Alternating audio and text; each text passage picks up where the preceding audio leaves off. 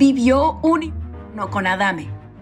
La famosa conductora Magali Chávez abrió su corazón al mundo y reveló detalles desgarradores de la difícil relación que vivió con Alfredo Adame. Y es que todo apunta a que incluso existieron momentos de... No van a creer todo lo que vivió.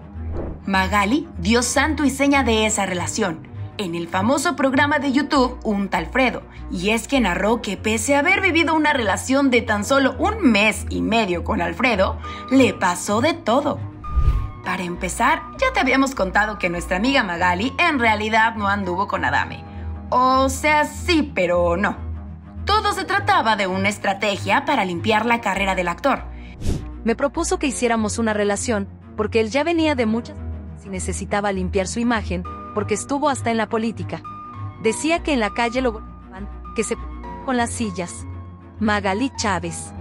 Pero alguien se clavó en el juego y no, no fue Magali. Claramente fue Adame quien tras pedirle que fuera su novia en frente de los medios de comunicación, justo como habían quedado, le dijo en privado que anduvieran de manera real. Se fueron las cámaras y me dice, Mary, si nos llevamos tan bien, me gustas, te gusto, ¿por qué no andamos? Yo no quería que él explotara, yo dije, tengo que encontrar la forma de soltar a este señor bien. Magali Chávez. Y no, no crean que Magali solo se quería alejar porque Adame ya andaba cacheteando las banquetas por ella.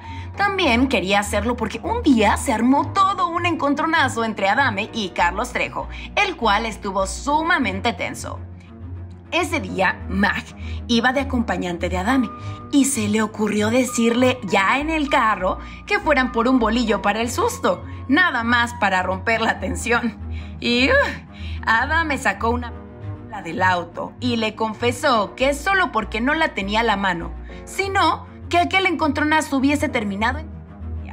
No hay mayor red flag que esa. Uy, no. Y cuando Magali le dijo que no iban a tener una relación, comenzaron a discutir como nunca. Casi, casi se le iban. Pero afortunadamente auxiliaron a la famosa. Y la cosa no acaba, pues la influencer comentó el daño que Adame le causó al declarar públicamente que ella presuntamente era una mujer transexual, lo que supuestamente provocó que perdiera varias propuestas de trabajo, no pudiera encontrar otra pareja y recibiera varios señalamientos. Es algo que sí me afecta y por eso estoy demandando por sea de género. El señor no sabe lo que ocasionó. Magali Chávez. Hasta el momento, Alfredo Adame no ha dicho nada al respecto, ya que se encuentra participando en la cuarta temporada de La Casa de los Famosos de Telemundo. ¿Será que al salir contará su versión?